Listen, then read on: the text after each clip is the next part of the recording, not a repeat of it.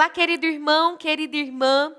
Você quer ter vitória na sua vida?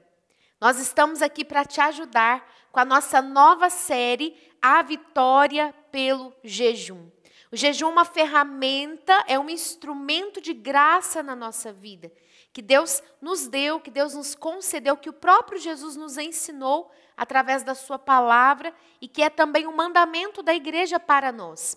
Então, com essa formação, nós vamos compreender aqui os benefícios do jejum para a nossa vida espiritual, para a nossa vida física, como fazer jejum, né? um jejum bem feito, como fazer um jejum com caridade, um jejum que agrade a Deus. E assim alcançar a vitória sobre os nossos inimigos. O nosso inimigo que é a nossa carne, o nosso inimigo que é o demônio, o nosso inimigo que é o mundo, que tenta aí nos afastar de Deus e nos tirar, nos roubar a graça do céu.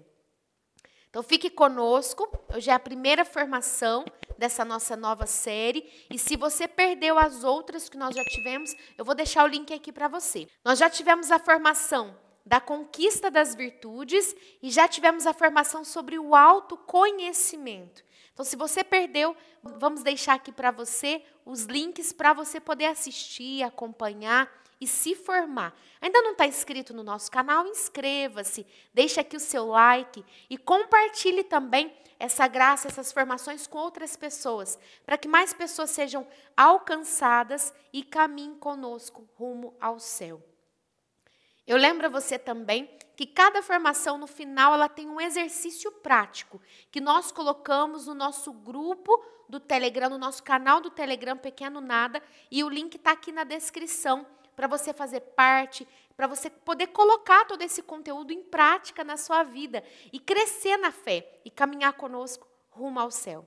Então vem com a gente, vamos rumo ao céu, porque o céu é o nosso lugar. Então vamos alcançar a vitória a partir desse instrumento dessa graça que é o jejum.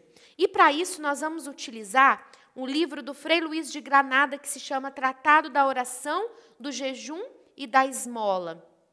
Então, nós vamos utilizar, né, durante esse tempo de formação sobre o jejum, esse livro e depois também outros, outros livros, outros, outras informações para poder agregar nosso conhecimento e nos, nos ajudar aí nesse crescimento. Vamos junto?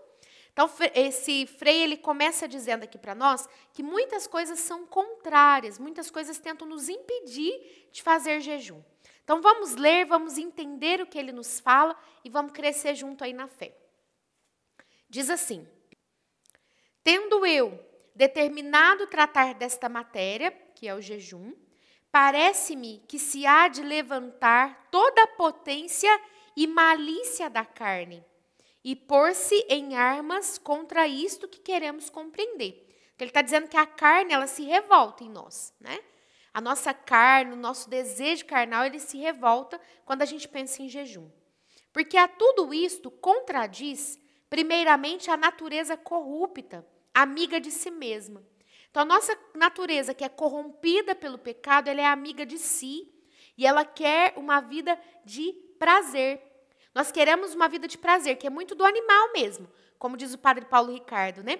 Foge da dor, busca o prazer. Então, é isso que a nossa carne vai fazendo. Ela vai fugindo da dor e buscando aí uma vida de prazer e contradiz a fraqueza da nossa humanidade, contradiz a inclinação do nosso apetite, que é amigo da carne, das vestes preciosas, da mesa delicada. A nossa carne, gente, o nosso apetite, a nossa vontade, ela é inclinada somente para coisas prazerosas. A gente foge daquilo que exige de nós um pouquinho de sacrifício que seja. De tal maneira que por estas coisas transtorna o mundo, move montanhas. Então, a carne, a pessoa, para ter esses prazeres, né, de veste preciosa, de beleza, de ficar bonita, de mesa delicada, mesa farta, cheia de coisas gostosas, ela move montanhas, ela faz todo o esforço do mundo para poder alcançar uma vida de prazer. E além disto, contradiz também o costume da nossa vida, porque estamos geralmente todos habituados a comer, a beber e a regalar o nosso corpo como o melhor amigo que temos. É um costume que a gente tem de comer bastante, de prazer, de buscar regalar o nosso corpo, né? Portanto, pelejar contra uma natureza tão poderosa e armada com as forças do hábito é navegar contra ventos e marés. Então a gente tem que lutar contra o costume que temos de buscar essa vida aí toda prazerosa. Porque virá um e dir-vos-á: Eu estou habituada a comer duas a três vezes por dia. E se não faço isto, rugem minhas tripas, enfraquece minha cabeça, eu durmo mal. Irmã, se eu não comer, olha, me dá dor na barriga, me enfraquece a cabeça, eu durmo mal, eu fico doente. Outro vos dirá que é delicado e honrado e que é uma parte importante o aparato e regalo do corpo. E por isso que não quer cortar o que tanto importa, tanto para o seu gosto como para a sua autoridade. Outros alegarão outras e outras coisas, com as quais a filosofia da carne, sob aparência de bem, pretende conservar os seus deleites e defender o seu partido. Então, cada um vai ter uma desculpa para não fazer jejum. E aqui ele vem falar para nós dos benefícios, primeiro que ele vai falar dos benefícios espirituais da prática do jejum. Então, compreendendo os benefícios espirituais, depois compreendendo os benefícios carnais, compreendendo contra quem lutamos, contra quem será a nossa vitória, é mais fácil de nós abraçarmos e utilizarmos essa ferramenta poderosa que é o jejum. Então, vamos lá? Vamos adentrar nisso? Então, a primeira excelência o primeiro benefício espiritual que o Frei Luiz de Granada fala para nós é a, a obra meritória de graça nessa vida e de glória no céu. Então vamos entender, e aqui eu estou na página 133 desse tratado. Ele diz assim: Jejuar e macerar a carne é obra meritória de graça e de glória, como são todas as outras obras virtuosas, se feitas com caridade. Então, o primeiro ponto que ele está dizendo, você vai jejuar, você vai aí fazer um sacrifício da sua carne, você vai receber duas coisas muito importantes. Você vai receber a graça e vai receber a glória. Você vai me dizer, irmão, do que, que a senhora está falando? A graça, ela é em relação à vida aqui na terra. Ela é em relação à nossa vida. Então, você está aí precisando né, de uma vitória na sua vida, está tentando é, é, se livrar de um vício, está lutando contra um pecado. Então, o jejum ele vai trazer graça para a sua vida espiritual. Ele vai te trazer graça para essa vida aqui, para a luta que você trava aqui.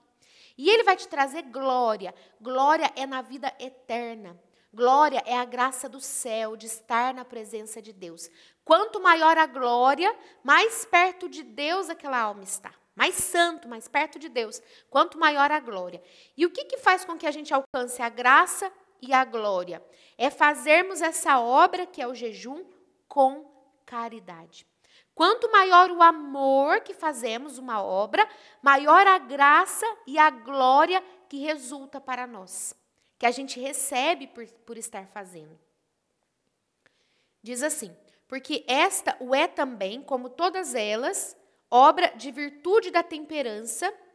Então, o jejum é também uma obra de virtude da temperança.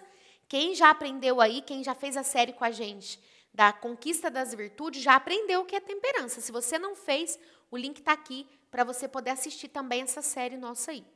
E é também obra de obediência, quando se faz por mandamento da igreja. Então, o que, que ele está dizendo? Ah, o jejum ele é também um mandamento da igreja para nós. A igreja nos orienta, nos pede que jejuemos nas sextas-feiras.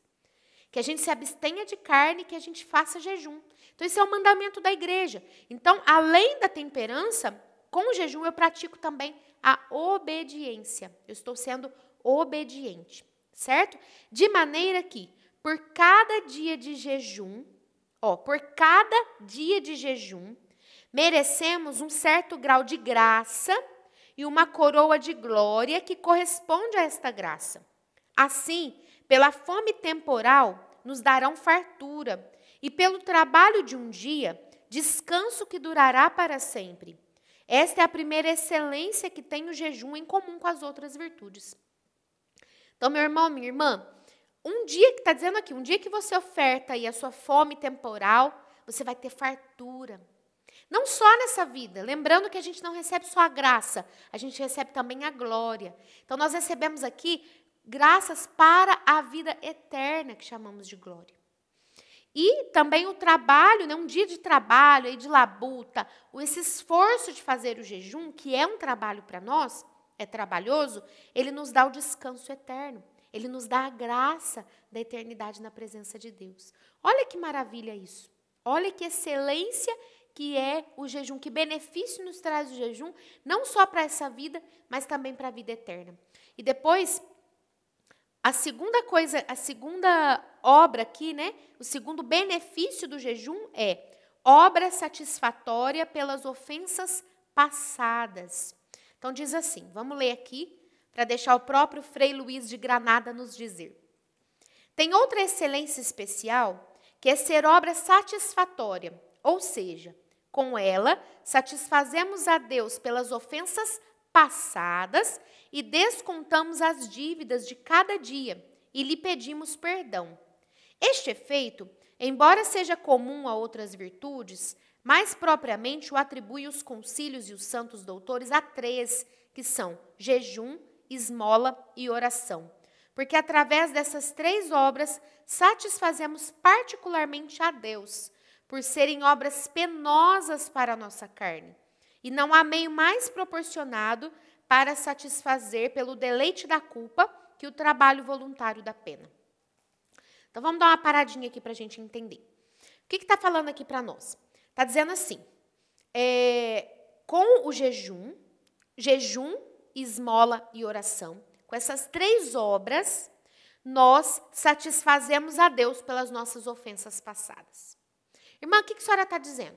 Gente, custa muito para nós fazer jejum. Por quê? Porque mortifica a nossa vontade de comer. Mortifica o nosso apetite por coisa gostosa. Mortifica a nossa vontade de comer, comer, comer, comer até ficar cheio. Mortifica isso em nós. Nós ofertamos algo a Deus. A mesma coisa é a esmola. Você oferta a Deus um dinheiro. Você oferta para o pobre uma coisa, um bem que é seu, uma comida que você ia comer. Você dá. E a oração, que é o sentido de todas as coisas. Tudo é feito com oração. Então, quando nós sacrificamos, quando nós fazemos esses atos de jejum, esmola e oração, e ofertamos isso com amor a Deus, então, aqui nós satisfazemos a, a Deus pelas ofensas passadas. Como assim? Você pecou. Quando você pecou, você teve uma culpa pelo seu pecado. Você vai lá, você se confessa, né? Fala para o padre, olha, eu estou arrependido tal. E ali Jesus, através do sacerdote, perdoa o seu pecado. Então, a sua culpa, se você se arrependeu de todo o coração, a sua culpa, ela é apagada, não existe mais. Porém, mesmo perdoando a culpa, mesmo sendo perdoados da culpa, nos resta aqui a pena. O que, que é a pena? A marca do nosso pecado, que a gente precisa satisfazer. Por exemplo, você roubou alguém. Adianta só você ficar, ah, eu estou arrependido, me perdoa porque eu roubei. Não, você tem que devolver para aquela pessoa. Isso é o cumprimento da pena. Se você não devolve, você vai para a cadeia. Se você não devolve, você vai ser punido por aquilo que você fez. Então, isso é a pena. Você precisa é, é, resolver aquele mal. Você precisa satisfazer aquele mal que você fez. Porque senão, se você não satisfaz aqui, você vai satisfazer depois. Né? E aqui a gente vai entendendo melhor. Vamos lá. Para isto, é de saber que, assim como o que, o que quebra as leis da República está obrigado a certas penas que tem para isso taxadas e assinaladas a divina justiça. Estas penas, forçosamente, se hão de pagar nesta vida ou na outra. Então você vai ter que pagar a pena. Ou você paga nessa vida, ou você vai pagar na outra. Isto é, ou no inferno, ou no purgatório, ou neste mundo. Então o que a gente deve, a gente paga ou no inferno, Deus me livre, né? Ou no purgatório, ou aqui neste mundo. No inferno, paga-se com pena eterna. Quer dizer, a pessoa vai sofrer por toda a eternidade. Uma vez que foi para o inferno, não, não sai de lá mais. Vai sofrer lá. Ou, no purgatório, não se paga com pena eterna. A pessoa fica um tempo no purgatório e depois vai para o céu. Mas paga-se com uma pena tão dura e tão intensa que, como diz Santo Agostinho, nenhuma pena há neste mundo que se possa comparar com ela, embora entrem nesta conta todas as penas e tormentos dos mártires, que foram os maiores do mundo, e até os que padeceu o nosso Salvador na cruz, que foram muito maiores. Porque nenhuns, nem os outros chegam à dureza da pena do purgatório.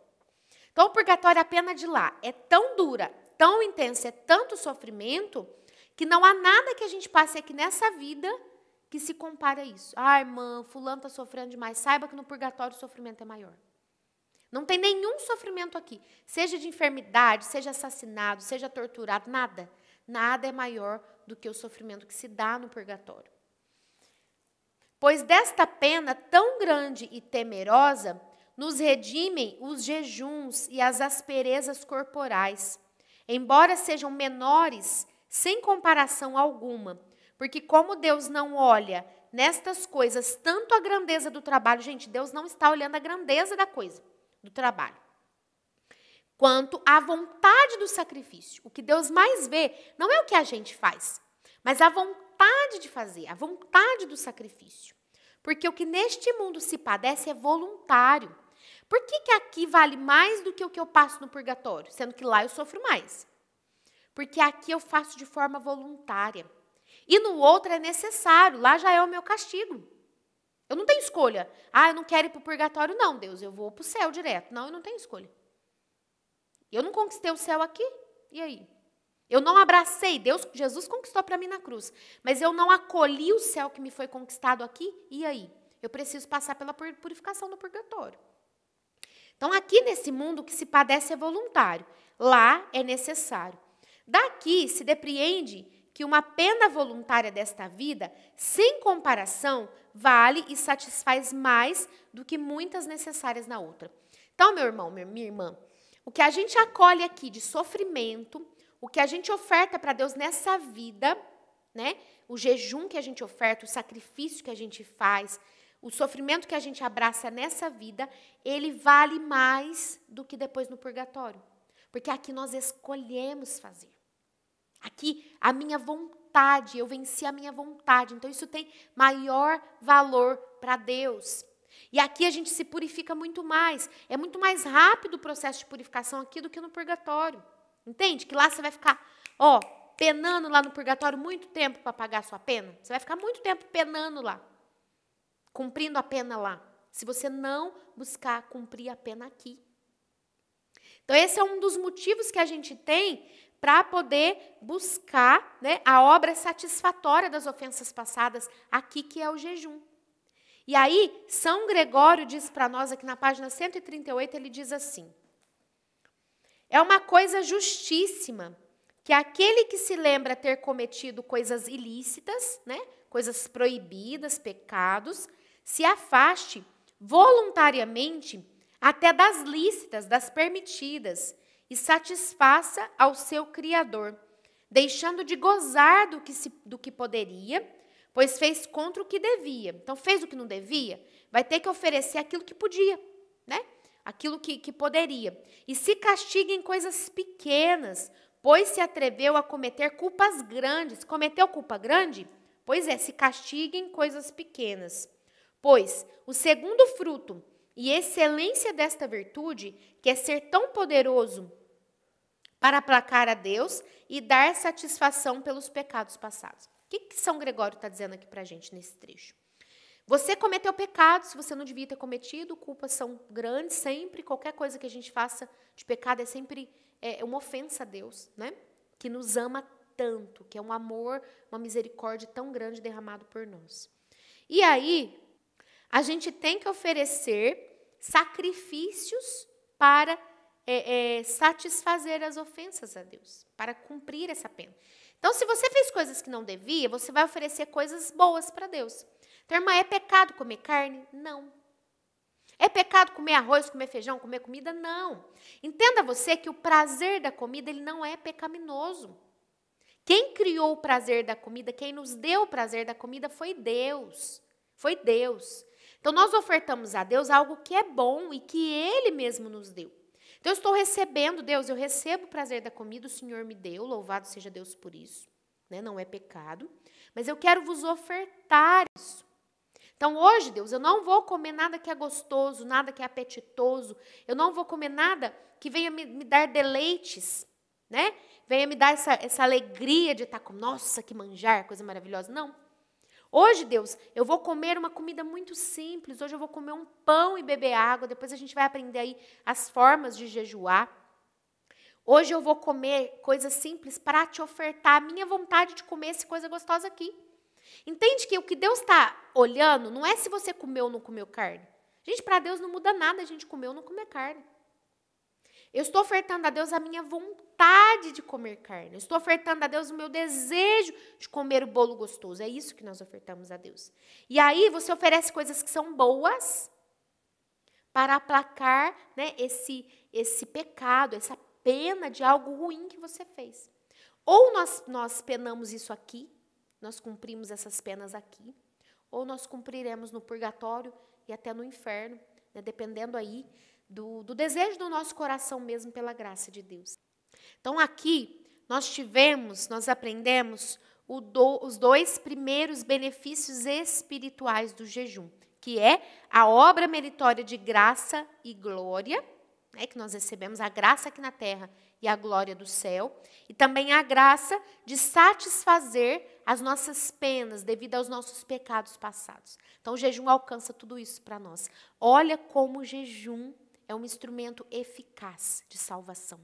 E ele traz aqui para nós uma grande vitória. Então Deus tem uma vitória para a tua vida, meu irmão, minha irmã. Então convido você a permanecer conosco, acompanhando toda essa série, para você poder aprender tudo isso que o próprio Deus quer te ensinar.